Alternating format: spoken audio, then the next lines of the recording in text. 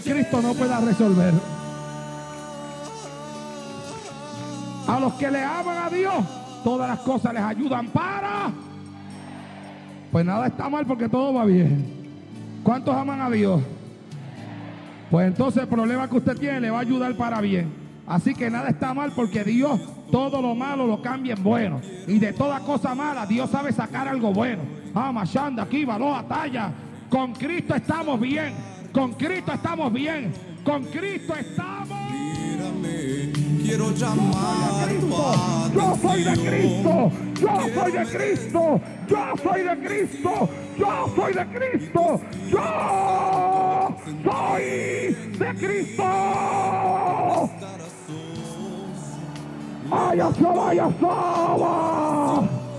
Grítelo, grítelo, grítelo, que el diablo lo oiga. Yo soy de Cristo. Y este Y le dije en el nombre de Jesús fuera. Y el demonio se fue. El demonio se fue. Porque en el nombre de Jesús tiembla el diablo, tiembla el infierno y tiemblan los demonios.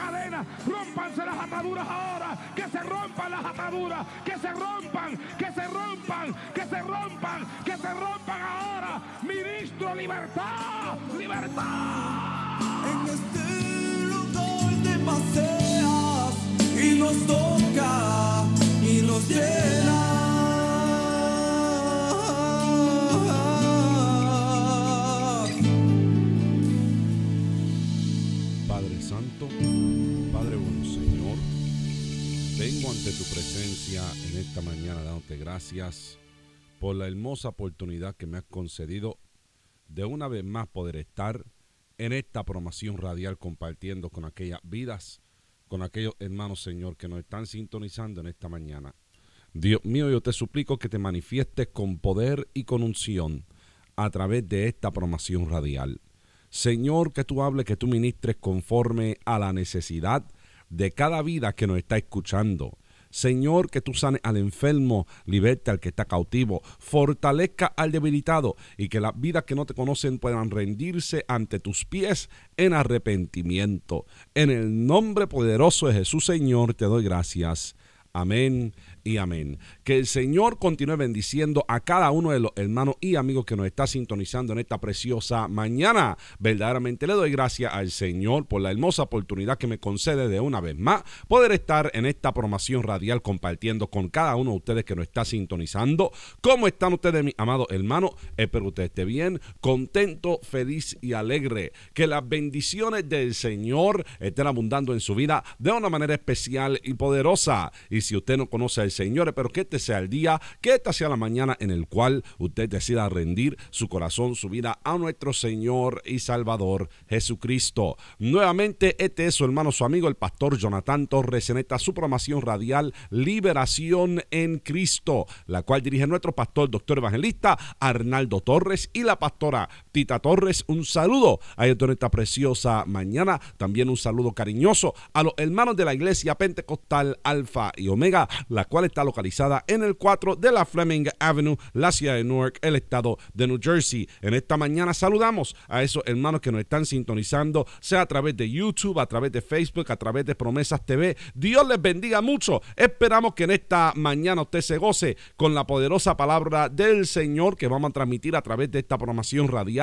También saludamos a esos hermanos que nos sintonizan a través de Radio Cántico Nuevo en el área triestatal. Amén. Estamos agradecidos al Señor por ese pueblo que nos está escuchando en esta mañana. Le recordamos que si usted está en esta área y desea visitar nuestra congregación, nosotros estamos localizados en el 4 de la Fleming Avenue en la ciudad de Newark, en el estado de New Jersey. Nuestros días de servicio son los martes y jueves a las 8 de la noche y los domingos a las 11 de la mañana. También en esta mañana le recuerdo que si usted no está escuchando en el área de Elizabeth, Nueva Jersey, está buscando una escuela cristiana donde le enseñen a sus hijos no solamente las demás cosas académicas, sino también que puedan enseñarle a ellos la palabra del Señor. Yo le invito a que usted llame a Harmony Christian Academy. Usted puede llamar al 908-994-2194. Una vez más, 908-994-2194. Usted puede llamar a Harmony Christian Academy en una escuela cristiana. Está localizada en el 664 de la Newark Avenue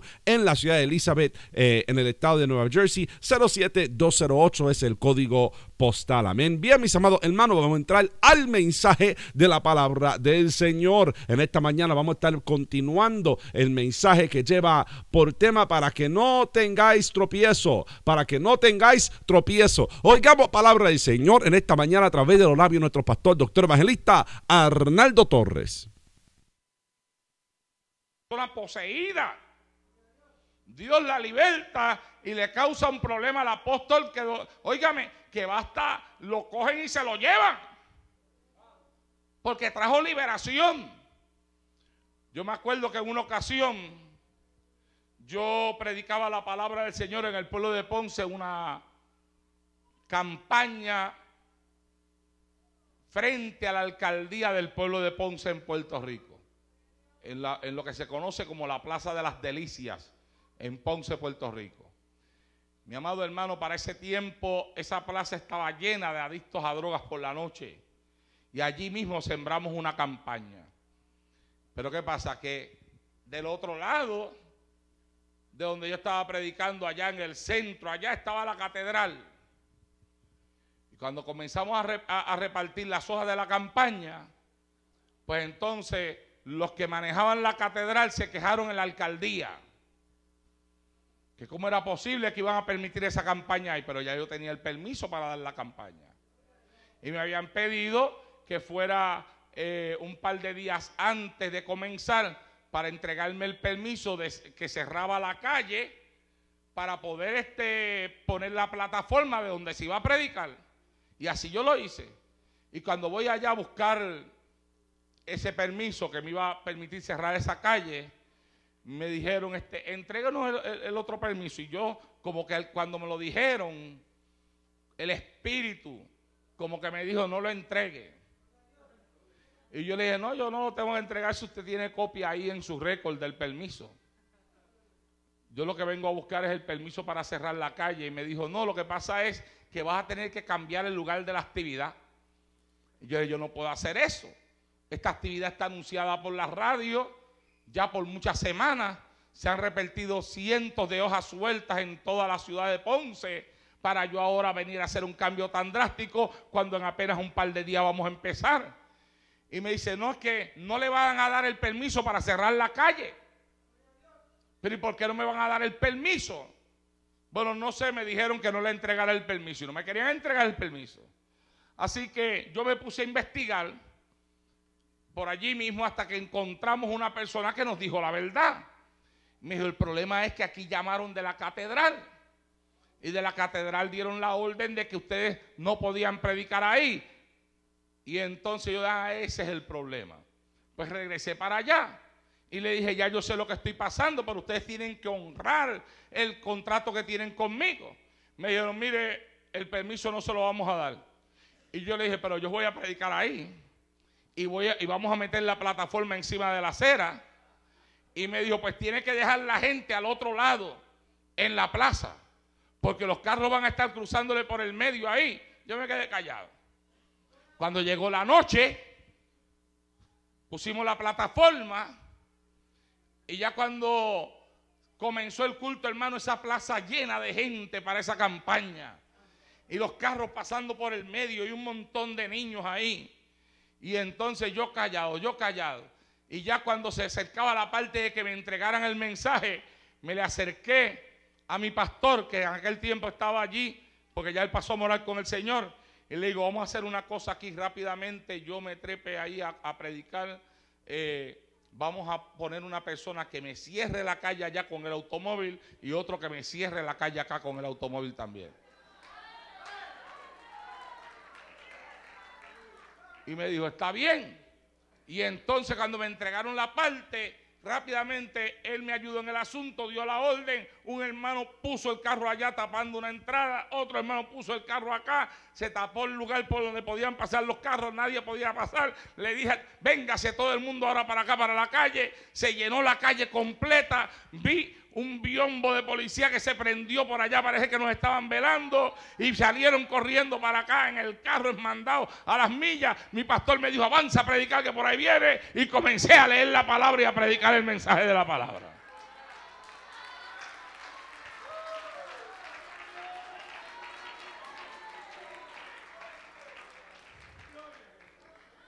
Cuando terminé de predicar, se convirtieron un montón de muchachos. Mire, eso estaba bien organizado. Allí teníamos eh, este lugar para, para tratar con adictos a drogas que hay en Ponce, que se llama Misión de Refugio. Ellos estaban allí para cualquier adicto que se quisiera ir con ellos cuando se convirtiera. Ellos lo montaban en la guagua del centro y se lo llevaban con ellos y lo sacaban de la calle esa misma noche. Todo estaba muy bien organizado. Entonces, rápidamente terminé de ministrar y de orar por las personas que se convirtieron. Entonces terminó el culto y vino un policía donde mí. Y me dijo, usted está citado para estar mañana en el cuartel de la policía porque lo que usted cometió aquí es una violación. Usted no tiene permiso para cerrar esta calle. Usted está metido en tremendo problema, pastor. Y dije, no hay ningún problema, yo voy a estar allí mañana. Al otro día tenía mi programación por la radio allá en Puerto Rico. Le informé a todo el pueblo de Ponce a través de las radios que iba a estar allí y pedí que todos los pastores que me pudieran acompañar, que me acompañaran allí a la hora de la reunión, que era como a la una de la tarde. Cuando yo llegué al lugar de la reunión, mi amado hermano, allí había una de pastores que usted no tiene idea. Pensaban hacer la reunión en una oficinita y tuvieron que ab- abrir un salón grandísimo de reuniones que había allí para que todo el mundo entrara a sentarse allí. Y entonces allí entré y me senté. Y vino el comandante de esa área de la policía ahí en Ponce y me dice, pastor, tengo entendido que usted no tenía el permiso para cerrar la calle. Y yo le dije, pero mire usted, este es el permiso mío para usar el lugar. Ahora la iglesia católica no quiere que me cierren la calle para sacarme a mí de ahí. Le dije, comandante, nosotros estamos ahí para ayudarle a usted. Usted sabe que la plaza está llena de adictos a drogas. Ellos no hacen nada por salvarlos. Nosotros estamos ahí predicando a Cristo para que ellos se salven. Tenemos un lugar allí eh, de un centro de rehabilitación que se llama Misión de Refugio. Sí, sí, conozco el centro, conozco el lugar. Pues mire, ellos están allí para cualquier adicto que se convierta, llevárselo esa misma noche con ellos para el centro. Y imagínese usted tantas personas, tantos niños. Imagínese que un niño se tira a la calle y un carro le dé un cantazo y él se me queda mirando a mí y me dice, ¿sabe qué, pastor? Yo le voy a dar a usted el permiso para que usted siga cerrando eso ahí. Y si a usted lo meten preso, me van a tener que meter preso a mí también. Oh, mi alma alaba y glorifica a Dios en esta hora. Oh, mi alma alaba y glorifica a Dios en esta hora. Oh, mi alma alaba y glorifica a Dios en esta hora. Ahora, si le hubiéramos dado el gusto al diablo, se hubiera salido con, lo que él quería. Pero mire usted, mi amado hermano, lo que lo quiero llevar es que en todas las épocas, pasó en los tiempos de Cristo, pasó en los días de Pablo, pasó allá en Puerto Rico tantos años atrás y sigue pasando todavía hoy. Que en vez de sacar a los adictos a drogas de la calle y a los alcohólicos y a las prostitutas, a quienes están sacando es a la iglesia con leyes que están haciendo en las alcaldías de las ciudades, prohibiéndonos a nosotros los cristianos que vayamos a la calle a practicar lo que Dios nos llamó a hacer, predicar este evangelio para que todo aquel que en él crea no se pierda, sino que tenga la vida eterna. Parece como si los enemigos de ellos no fueran los viciosos, sino los que no tenemos vicio. Parece como si los enemigos de ellos no fueran los inmorales, sino los que tenemos moral. Parece como si los enemigos de ellos no fueran, mi amado hermano, la gente indecente, sino los que son decentes. La calle está abierta ahí. Ahí usted puede caminar con la droga en el bolsillo, nadie se mete con usted. Usted camina con un componente grandísimo que casi tiene que coger las dos manos para cargarlo encima de usted con las bocinas que le están destruyendo el tímpano. El ruido está por todo eso. Nadie le llama la atención. Usted viene y pone una bocina con un micrófono chiquito y grita, Cristo te ama. Y a los 10 minutos ya tienen más de 20 carros de policía ahí. Hay quien ama la palabra de Dios, pero hay quien la aborrece. Y Cristo dijo, para que no tengamos tropiezo, nos dijo, no, aleluya, si el mundo os aborrece, sabed que a mí, dijo él, me aborreció primero. Seréis taikiabai. Ahora él dice y explica por qué es que el mundo nos aborrece. Él dice, si fuerais del mundo, el mundo amaría lo suyo. Pero porque no sois del mundo, antes yo os elegí del mundo, por eso el mundo os aborrece. ¿Cuántos me están oyendo? Dice ahí que no somos del mundo. ¿Qué es lo que significa eso? Que cuando venimos a Cristo hay una transformación en nosotros tan y tan grande, un cambio tan poderoso que hace que el mundo nos aborrezca. Porque la vida que nosotros vivimos los acusa a ellos aunque tú no hables una sola palabra. ¿Ah? Eso es así. Entonces, ¿qué es lo que pasa? Tú eras un adicto a las drogas, viene Cristo y te quita el, el, el vicio de la adicción. Eras un alcohólico, viene Cristo y te cambia. Andabas vendiendo tu cuerpo por la calle, viene Cristo y te transforma. Eras un malcriado, decías un montón de malas palabras. Cristo te cambia tu forma de expresarte, porque que cuando uno llega a Cristo todo cambia en la vida de uno. Cristo te entrega un lenguaje diferente, una forma de hablar diferente, a un punto que la gente te desconoce. La gente dice, oye, pero ¿qué fue lo que pasó con este? ¿Qué pasó con esta? Ah, entonces, vestías de una forma desordenada, Cristo te hace vestir con decencia. ¿Ah? Pasaban tres, cuatro días sin bañarte, ahora te bañas todos los días.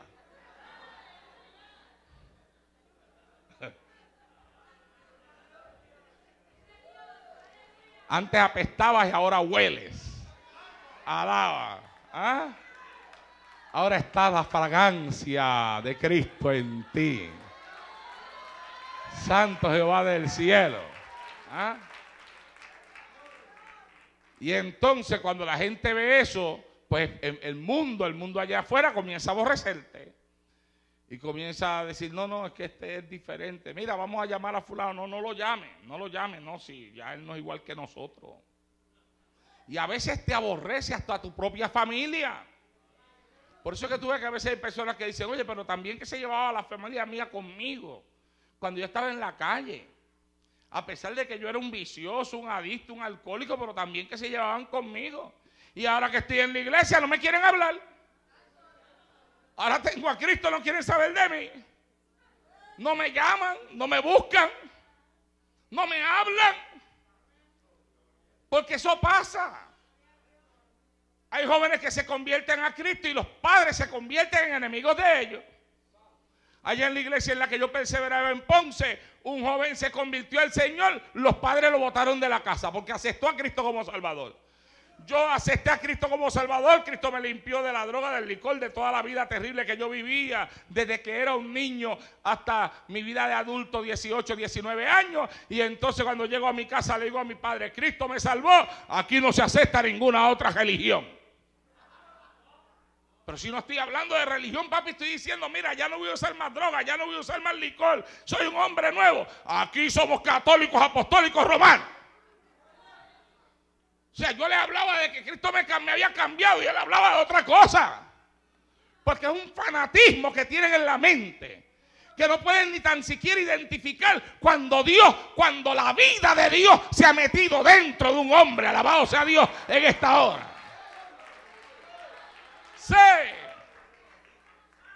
Y algunos amigos tuyos que cuando antes de tú conocer a Cristo te decían, chico, tú estás muy mal, tienes que cambiar. Tienes que dejar de usar eso. Porque mira cómo tú estás. Cambia. Entonces Cristo te cambia. Y ellos después vienen y te dicen, ¿quieres esto? Oye, pero tú no me estabas diciendo que dejara eso. Y ahora me lo estás ofreciendo. Ahora te quieren regresar para atrás. Porque la vida de Dios en ti los redalgulla a ellos. Y comienzan a aborrecer tu estilo de vida. Mira, cuando yo, yo era jugador de baloncesto en el mundo, pero cuando me convertí a Cristo, cogía para las canchas allá en el pueblo mío para hablarle de Cristo a la gente. Y ya cuando la gente me veía de lejos, que yo venía con una Biblia, la cancha vaciaba.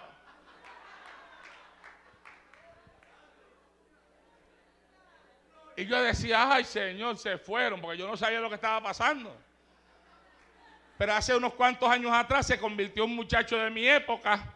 Y entonces está por acá por los Estados Unidos y logró conseguir el teléfono mío y me llamó y me dijo, mira Arnaldo, soy yo fulano y quiero decirte que también tengo a Cristo, que Cristo me salvó y estaba pensando en ti y me acordaba de aquellos años cuando tú te convertiste y nos querías hablar la palabra y nosotros te veíamos de lejos cuando venía y nosotros decíamos, ahí viene Arnaldo, ahí viene Arnaldo y la cancha se vaciaba y yo dije, ah, por eso era que se vaciaba.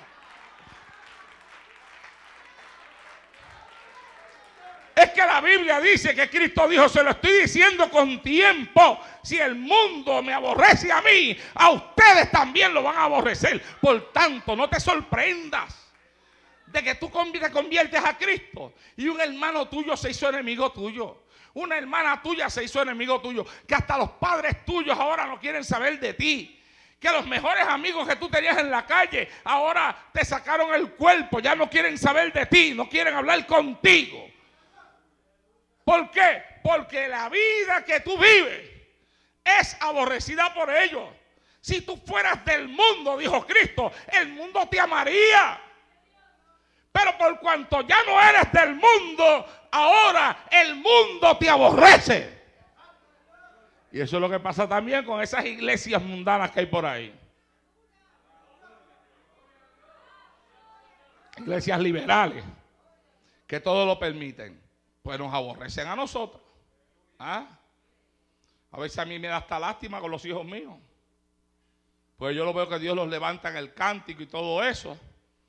Y yo sé que si no fueran hijos de Arnaldo Torres, un montón de iglesias por ahí los estuvieran invitando porque Dios los usa.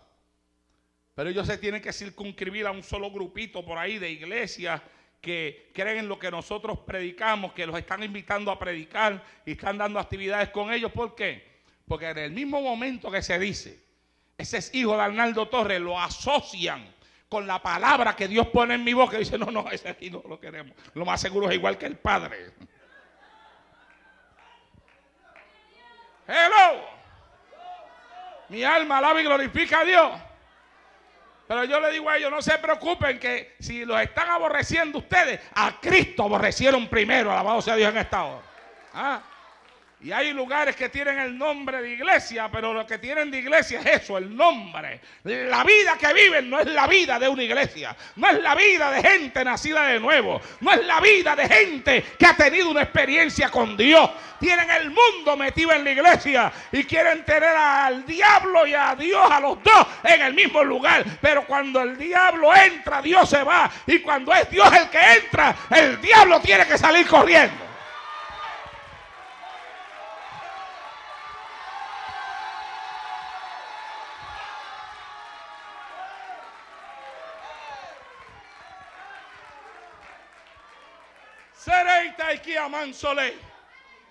Ah, y yo orando ahí en mi cuarto le decía, Señor, Señor, de verdad que me vas a sacar ahora. Tan mal que están las cosas, tanta, ta- que, tanta, que la gente ha cambiado, el evangelio ha cambiado. Y ahora tú me vas a llevar a mí por esos países donde están practicando tantas cosas. Y él me dice a mí, no te preocupes, que lo mismo que le dije a Elías es lo que te digo a ti. Yo todavía tengo un pueblo que no ha doblado sus rodillas delante de Baal.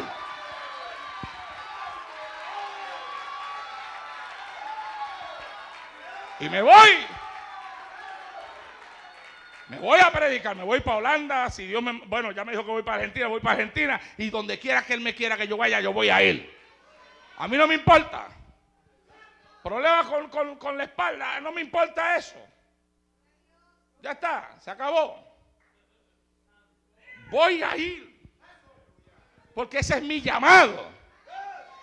Y yo tengo el fuego del llamado de Dios metido en mis huesos. Óigame, en estos días más todavía usted no se da cuenta que ya llevo tres semanas metidito aquí en este altar y no estoy dejando a nadie predicar en esta iglesia. Sereita y Soleita Basoaba. Los predicadores están cogiendo moho ahí sentados en estos días. No, pero ahora cuando yo salga, ellos se meten en el aceite de la unción de nuevo y se le va el mojito que están cogiendo, se le va ya mismo. Ajá. Ah, o sea, Dios. Oh, no, pero es así. Cristo dice: Acordaos de la palabra que yo os he dicho. El siervo no es mayor que su señor. Si a mí me han perseguido, también a vosotros os perseguirán. Y si han guardado mi palabra, también guardarán la, la vuestra. Aquí Cristo presenta que van a haber dos tipos de personas. Dos tipos de receptores de la palabra del Señor. Hay uno que cuando la reciba va a perseguir, nos va a perseguir. Y tenemos que estar preparados para eso. Si a mí me han perseguido, ustedes también le perseguirán. Y yo estaba haciendo una comparación en la escritura con los días de Cristo y estos días. Y me estaba dando cuenta que cuando Cristo fue a venir para los días de, de los judíos, ¿verdad? Cuando Él nació para aquel tiempo, empezaron a pasar un montón de cosas. Y me estoy dando cuenta que ahora que la venida del Señor se acerca, están pasando de nuevo las mismas cosas. Persecución es una de ellas, hermano. Ocurrió en aquel tiempo en el ministerio de Cristo. Cristo está para venir a levantar la iglesia y la persecución está floreciendo de nuevo sobre la faz de esta tierra. Y tenemos dos grupos de personas. Unos que no aceptan la palabra de Dios y que están dispuestos a pelear contra nosotros y están entronizados porque los gobiernos los están apoyando y los están respaldando. Y eso les ha dado fuerza. Pero dice Cristo aquí, si me han perseguido, también a ustedes lo van a perseguir. O sea, no nos puede coger por sorpresa. Si a Él, que era el Hijo de Dios sobre esta tierra y que hacía tantos milagros que ellos nunca en su vida habían visto, lo estaban persiguiendo. Él dice, si a mí me persiguieron, a ustedes también lo van a perseguir. Pero después dijo, si han guardado mi palabra, también guardarán la vuestra. ¿Qué es lo que quiere decir él? Él dice, aunque a mí hay quien me está persiguiendo, también hay quien me está oyendo. Hay quien me persigue y hay quien me recibe. Hay quien me persigue y hay quien está aceptando la palabra que yo predico. Y de la misma forma que hay quien me persigue, ustedes lo van a perseguir. Y de la misma forma que hay quien está aceptando mi palabra, va a haber quien cuando ustedes prediquen, va a aceptar la palabra de ustedes también a la voz de Dios en esta hora. Las dos cosas, hermano. Y eso es lo que está pasando en este tiempo. Hay una persecución ya contra la iglesia. Y nos quieren dejar encerrados en las cuatro paredes de este templo. Pero en medio de esta persecución, la Biblia dice que Dios va a añadir a la iglesia antes de que suene la trompeta aquellos que van a ser salvos. Y mientras hay quien está en contra del Evangelio, hay otros que están sintiendo la inquietud. Tengo que ir a un templo, tengo que visitar esa iglesia. Y cuando oyen la programación radial dicen, Dios mío, pero todo lo que ese hombre dice en la radio es verdad. Y yo siento, a mí me han llamado personas y me han dicho, mire, cuando yo lo escucho usted predicar, pastor, aunque yo no soy cristiano, a mí se me paran todos los pelos del cuerpo. Algo que me toca por dentro, porque yo sé que lo que usted dice es verdad. Eso es lo que Cristo dijo. Hay quien nos rechaza, hay quien nos acepta, hay quien hace, rechaza la palabra de Dios, pero hay otros que están visitando la iglesia. Antes de que suene la trompeta, el Señor va a añadir los que van a ser salvos. A su nombre. Si usted está de visita aquí en esta noche, es porque usted tiene la inquietud de la salvación de su alma. Y usted tiene que darse prisa, amigo. Usted tiene que darse prisa, amiga. Usted que está descarriado descarriada, tiene que darse prisa. Esto se está acabando ya. Ya no hay mucho tiempo.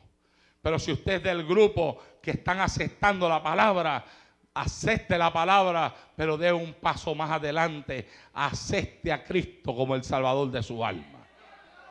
Haga, haga el paso completo, alabado sea el Señor. Mas todo esto os harán por causa de mi nombre, porque no conocen, dice aquí, al que me ha enviado. ¿Cuánto me escuchan? Algunos dicen que conocen a Dios y nunca lo han conocido. ¿Ah? Leía en estos días que quien fuera el primer ministro de Gran Bretaña, Tony Blair, ha levantado una, una organización pseudo cristiana y ahora anda como si fuera un predicador diciendo que nosotros los cristianos hemos malinterpretado la palabra de Dios durante muchos años. Y ahora Él va a enseñarnos a nosotros cómo es que se interpreta la palabra del Señor. Y para empezar, Dice él, lo primero que hemos malinterpretado es lo que nosotros decimos que la Biblia dice acerca de las personas que están enamoradas de alguien de su propio sexo, de los homosexuales y las lesbianas. Estamos interpretándolo mal. No es eso lo que la Biblia quiere decir. O sea que la Biblia dice que los que se echan con varón no van para el cielo y él dice que no es eso lo que la Biblia quiere decir. O sea, si dicen que no van para el cielo, ¿para dónde van?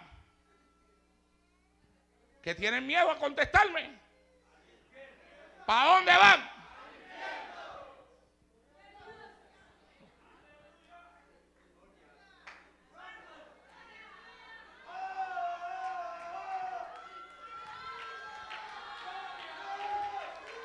Para el purgatorio no es, porque eso no existe.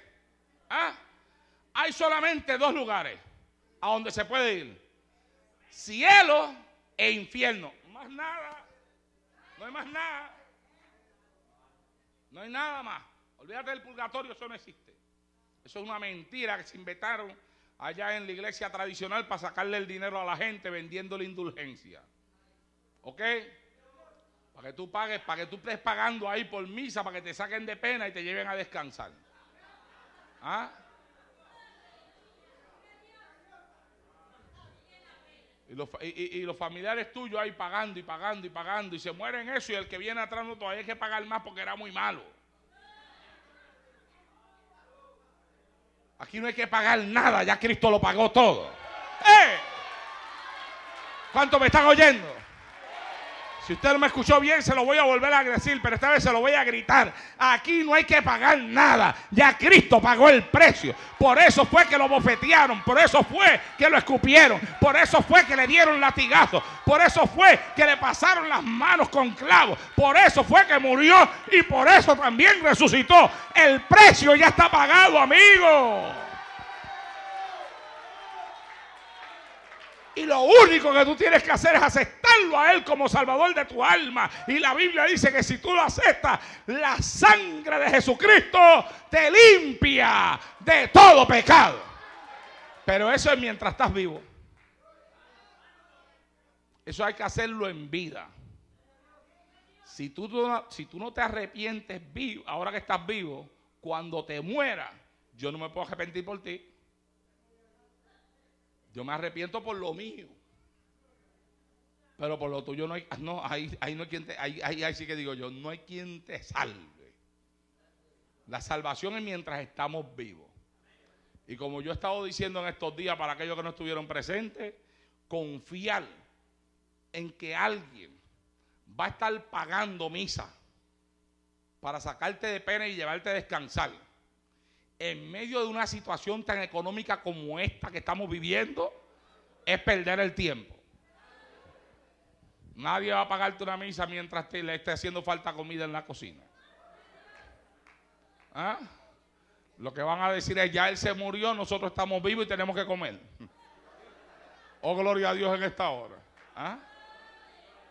Pero es que la gente religiosa, mi amado hermano, cometen una de locuras y no piensan, no razonan. Yo hablaba con un pastor amigo mío que me decía, mira, yo he estado en México unas cuantas veces para cuando celebran el Día de los Muertos. Y él me dice a mí, yo me he quedado sorprendido, hermano Ronaldo, que en ese día hay personas que se vienen al cementerio y le traen a la tumba del muerto la comida que le gustaba cuando estaba vivo. Y después se ríen de los faraones que los enterraban con un montón de alimento allí. Y ellos hacen lo mismo, pero peor.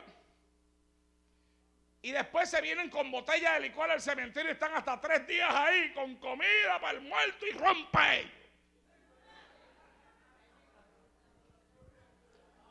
Que el rol lo va a matar y lo va a mandar a hacerle compañía al muerto.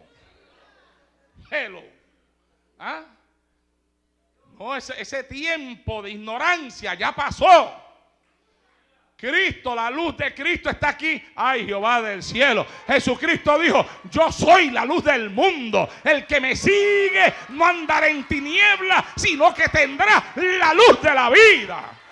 Anda, Jehová del cielo. Ah, Viga la luz del Evangelio de Jesucristo y sal de esa ignorancia que te tiene atado a una religión muerta, seca, vacía, que lo que hace es que está jugando con la salvación de tu alma. No le permitas a nadie jugar con tu salvación, diciéndote después de que te mueras, arreglamos el asunto. No, no, no, dile, no, no, no, no. Eh, si usted quiere, arregle el suyo usted después que se muera. El mío lo voy a arreglar yo mientras estoy vivo, aceptando a Cristo como salvador de mi alma. ¡Woo! A su nombre. A su nombre. Bueno, yo creo que voy a terminar ya. Estas cosas os he hablado, dice en el, capítulo 16, para que no tengáis tropiezo. Os expulsarán de la sinagoga. Y aún viene la hora cuando cualquiera que os mate pensará, pensará que le rinde servicio a Dios. Y harán esto porque no conocen ni al Padre, al Padre ni a mí. Mas os he dicho estas cosas para que cuando llegue la hora os acordéis que ya os lo había dicho. ¿Ah? Por eso es que usted ve que yo aquí en este altar me paro y le digo mucho a ustedes, constantemente les repito lo que está pasando. Y le digo, hermano, se lo estoy diciendo ahora para que cuando pase, ustedes sepan que yo se lo dije, yo cumplí con mi responsabilidad de predicarles una palabra tal y como está escrita. Aquí nadie tiene excusa. Ninguna de las personas que visitan esta iglesia tienen excusa. Porque aquí se les predica la Biblia tal y como está escrita. aunque le guste o no le guste, se moleste o no se moleste, a mí no me importa si la gente se molesta conmigo, yo tengo que cumplir la responsabilidad que Dios me ha entregado a mí. Y yo tengo que cumplir con Él. Por amor a tu alma, pero también por amor a la mía. Porque si yo no te predico la verdad desde este altar, Él me va a llamar, a llamar a cuentas a mí, me va a decir qué es lo que tú hiciste. Yo te llamé a predicar la verdad y estabas predicando una mentira. Oh, Shalabakia Mansole. ¿Qué es lo que le va a pasar a mucha gente por ahí? Que han vendido la palabra y han vendido el evangelio que conocieron y no son los que antes eran. Y ahora dicen que tuvieron una nueva revelación, que un ángel bajó del cielo y le dijo tres plamplinas y los cambió.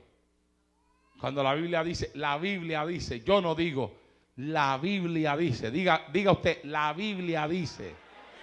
Esa es la autoridad máxima en la vida de un cristiano. No es lo que Arnaldo Torres diga, es la Biblia. ¿Qué dice la Biblia? La Biblia dice si un ángel del cielo descendiese aquí abajo a la tierra y les enseñase a ustedes una doctrina diferente a la que ustedes han recibido, el tal ángel, dice la Biblia, sea anatema. Y para el que no entiende lo que significa la palabra anatema, significa maldito. O sea, el tal ángel es maldito. El apóstol decía, el apóstol Pablo, si aún yo mismo, dijo él, yo mismo, les trayese a ustedes una enseñanza diferente a la que ya les he enseñado, él dijo, yo mismo soy un anatema. ¿Se dio cuenta? Él estaba diciendo a aquel pueblo, la palabra que les enseñé es la verdad. Y si algún día yo viniese donde ustedes y les dijese que me equivoqué, que lo que prediqué no era, les estoy diciendo ahora, dijo él, que si algún día yo hiciese eso, yo soy un maldito. Yo soy un anatema. No me escuchen. Yo me acuerdo cuando mi pastor predicaba muchas veces en el altar de la iglesia y decía, yo agarrado de la palabra, agarrado de Dios y ustedes agarrados de mí. Pero si algún día ustedes ven que yo suelto la palabra, suéltenme a mí y agárrense del Señor, que esa es el que ustedes tienen que seguir. Echa la vaquilla manso, leitaba. A su nombre. Y Cristo está diciendo claramente, mi amado hermano, yo les he hablado esto para que ustedes no tengan tropiezo. Y por eso es que los predicadores, los pastores, tenemos que hablar esta palabra que Cristo habló, para que usted que me oye no tenga tropiezo. Para que nadie le ponga tropiezo a su alma. Por ahí hay gente que están poniéndole tropiezo a las almas de las personas a las almas de los pecadores y aún le está, ahora le están poniendo tropiezo a las almas de mucha gente dentro de la iglesia. Pero como la gente no estudia la palabra, la gente oye la palabra por un lado le entra, por el otro lado le sale. No se van a la casa a ver si lo que uno les dijo está, es verdad, si está escrito ahí o no está escrito ahí. Sino que lo que ellos oyen, eso creen. Pues entonces hoy les predican una cosa y la viven. Y mañana viene otro y les predica otra y también la viven. Y andan brincando de doctrina en doctrina y de iglesia en iglesia. Yo no sé si había tiempo para eso, mi amado hermano, que hay quien dice el tiempo para eso se acabó, como si hubiera habido un tiempo para eso. ¿Ah? Pero yo, yo voy a, me voy a pegar de las palabras de ellos entonces. El tiempo para eso se acabó. ¿Cuántos lo saben? ¿Cuántos saben que Cristo viene? Ah, pero si yo se lo digo a cada rato, hermano, mire las noticias. Lea, lea noticias, lea, lea. Que lo que está saliendo en los periódicos, en la prensa, en la televisión, está ahí. Está ahí. Lo hemos predicado por un montón de años. Antes de que yo naciera. De que yo viera la luz en este mundo. Ya habían predicadores que lo estaban predicando. Antes de que esos predicadores nacieran, antes de ellos, habían predicadores que lo habían enseñado. Que hablaron del anticristo que vendría sobre la faz de la tierra. Que hablaron del mercado común europeo y de las naciones que se unirían. Que hablaron de que este país, dentro de la historia de la Biblia, este país tiene que caer para que se levante la nación europea y que hablaron que de allá saldría un anticristo. Por cientos de años se ha estado enseñando que vendría el día en que habría una sola moneda y un solo gobierno a nivel mundial. Y la gente decían, eso es mentira, estos son unas exageraciones de estas personas que le meten miedo a las personas para que se conviertan y se metan a la iglesia de ellos. Fanáticos, mentirosos nos decían. Pero ¿y ahora dónde están esos que nos gritaban fanáticos? Ahora que CNN, NBC, ABC, Fox News y cuanto lugar de noticias hay, están anunciando que las, que los- que las- las naciones están pidiendo que se levante un solo gobierno a, a nivel mundial.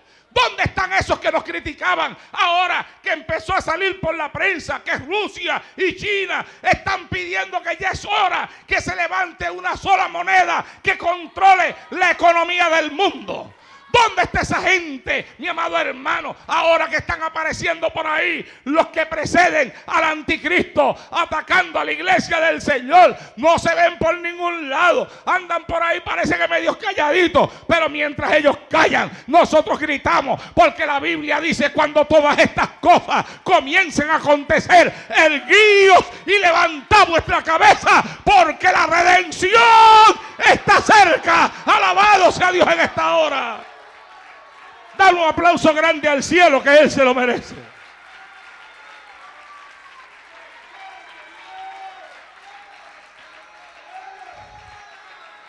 Yo creo que en estos días Dios me dio pulmones nuevos a mí. Siento hasta que la voz mía se está poniendo más joven. Cada vez que grito, Cristo viene. A su nombre. Cristo viene. Se acerca el deseado de las naciones. La trompeta está para sonar. La profecía está cumplida. Cristo viene. ¿Cuánto lo están esperando? Espéralo con alabanza, espéralo con gloria, espéralo con honra. Dale gloria al que gloria se merece.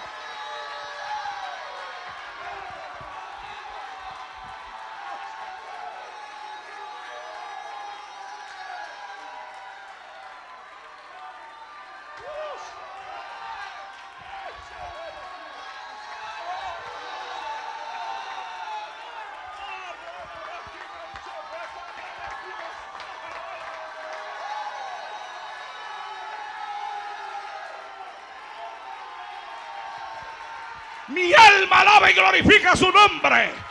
Hay quienes lo reciben, hay quienes no lo reciben, hay quienes nos persiguen, hay quienes nos aman. Lo cierto es que seguirá pasando, mi amado hermano, pero Él nos ha dado aviso para que no tengamos tropiezo a su nombre.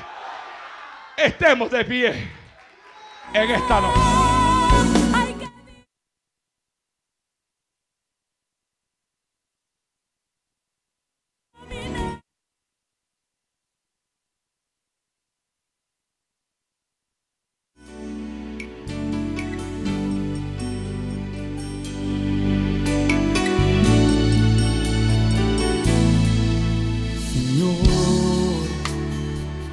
Ante ti estoy, quiero adorarte hoy. Permíteme exaltar tu santo nombre. Mírame, quiero llamar tu atención. Quiero me des tu bendición y tu Espíritu Santo sentir en mí por estar solo. Levanto adoración. Padre Santo, Padre bueno Señor, gracias te doy en esta mañana por tu palabra. Tu palabra es vida, tu palabra es luz, tu palabra es verdad. Y es mi oración, Señor, que esta palabra penetre en nuestra mente, en nuestro corazón, y que nunca nos olvidemos de ella. Señor, si hay alguien que no te sirve, alguna vida, Señor, que haya escuchado esta programación radial y que aún no se ha rendido ante tus pies, que esta mañana sea mañana de salvación para su alma. En el nombre de Jesús, Señor, te doy gracias. Amén. Si usted ha escuchado esta programación radial y el Señor le ha hablado, el Señor le ha ministrado y hoy usted desea aceptar al Señor como su único salvador personal, yo le invito a que ahí mismo donde usted está, repita conmigo esta oración. Repita, Señor Jesús, ante tu presencia estoy, reconociendo que soy pecador y que necesito de ti.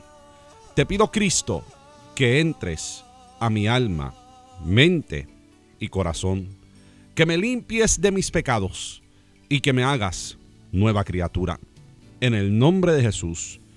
Amén. Padre Santo Señor, vengo ante tu presencia presentándote aquellas vidas que hoy han decidido rendir sus corazones, sus vidas a ti. Dios mío, yo te suplico que la sangre que Cristo derramó en la cruz del Calvario le limpie sus pecados. Sangre de Cristo limpia, purifica, rompe las cadenas, quebranta los yugos, Señor. Haz como tú quieras en estas vidas para gloria y para honra de tu nombre sea, Señor. Amén y amén. Qué lindo el Señor, un poderoso mensaje que hemos pasado en esta presencia mañana. El mensaje lleva por tema para que no tengáis tropiezo, para que no tengáis tropiezo. Amén. Y esperamos en el Señor que usted se haya gozado con esa poderosa palabra. En esta mañana saludamos a cada uno de los hermanos que nos han sintonizado, sea a través de, a través de YouTube, a través de Promesas TV o si usted nos está escuchando a través de Radio Cántico Nuevo en el área triestatal. Estamos tan agradecidos al Señor por esa audiencia que fielmente nos sintoniza, en especial, ¿verdad? Eso hermanos que nos han escuchado a través del internet, que la semana pasada no pudimos estar transmitiendo, pero ya con la ayuda del Señor estaremos transmitiendo una vez más durante esta semana, ya que la, eh, durante esta semana pasada tuvimos unos contratiempos, pero ya, gracias al Señor, eh, los problemas están resueltos. Amén. Esperamos en el Señor que todos los problemas que hayamos tenido estén resueltos. Eh, en esta mañana agradecemos al Señor por cada uno de esos hermanos que nos ha sintonizado a través de a través de Radio Cántico Nuevo y también a través de YouTube en diferentes partes del mundo. Tenemos una audiencia grande que nos sintoniza en Chile, en Ecuador, eh, hermanos que nos sintonizan en Perú, en República Dominicana y ahí, aquí mismo en los Estados Unidos, en Europa. Tenemos muchos hermanos también que nos sintonizan. Esa es una audiencia que amamos y estamos tan agradecidos al Señor de que usted haya permitido que nosotros seamos parte de su día. Una vez más les recuerdo, hable, déle saber a sus familiares, sus amigos, sus seres queridos, hermanos en Cristo, que cada mañana de 7 a 8 de la mañana estamos transmitiendo la poderosa palabra del Señor a través de estos medios y comparta este mensaje para que las vidas también puedan gozarse con la palabra del Señor. Bien, mis amados hermanos, ya esta programación ha llegado a su fin. Que el Señor le bendiga, que el Señor le guarde, que la paz del Señor esté con cada uno de ustedes. Yo soy su hermano, el pastor Jonathan Torre, y este ha sido su programa, Liberación en Cristo.